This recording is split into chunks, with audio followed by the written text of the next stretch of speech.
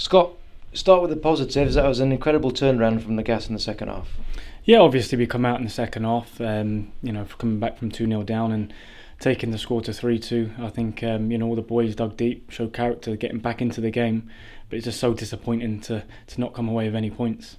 And I know the team player that you are, but let, us be honest, here, it's a fabulous cross from you. You've also put a penalty away. It was a it was a great performance from you personally. Well, obviously, when I come on, um, if I start the game or if I come on, it's all, all about making an impact and helping the team. Um, and obviously, when I come on today and, and, put the pen away, but you know, I think collectively, you know, it showed our character, um, you know, in the second half.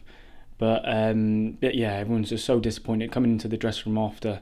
You know, um, we should have come away with a, at least a point, I would say. But you know, the three points were there you say everyone everyone's disappointed. It is interesting to kind of sense the vibe around it. This isn't a, a club that's used to winning. Uh, sorry, used to losing two games on the spin. So actually, if you look at that in a positive way, it actually means that you know how far this this club has come. Oh, definitely.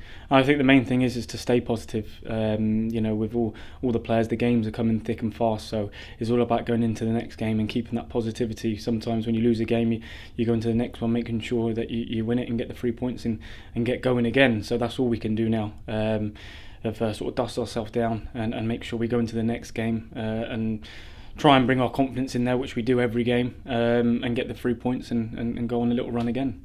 Could there have been another penalty in there? Like you went to, to ground it? Obviously, he, he come across. Um, I didn't get my shot off, and I felt something, and I went down. Um, you know, maybe the ref thought it was a little bit soft, but um, you know, we can't just sort of live on the, the, the ifs and buts. We need to sort of put the game to bed and come off with the three points. Look ahead to Cheltenham and Scott four goals against us at home, which is not something that the Gassers are used to seeing. We put four past Cheltenham at their place. What kind of game do you think we're expecting on New Year's Day? Um, I'm, I'm sure it'll be end to end. You know, like you said, there's full of goals. Uh, I'm sure there will. Um, you know, we're always trying to create and uh, and uh, and obviously score goals, but um, you know, I'm sure it'll be a good game.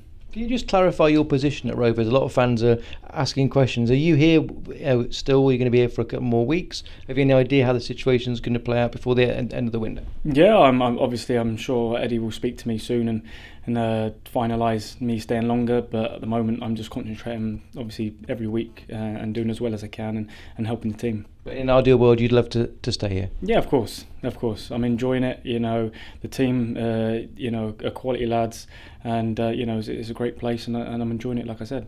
Thank you, Scott.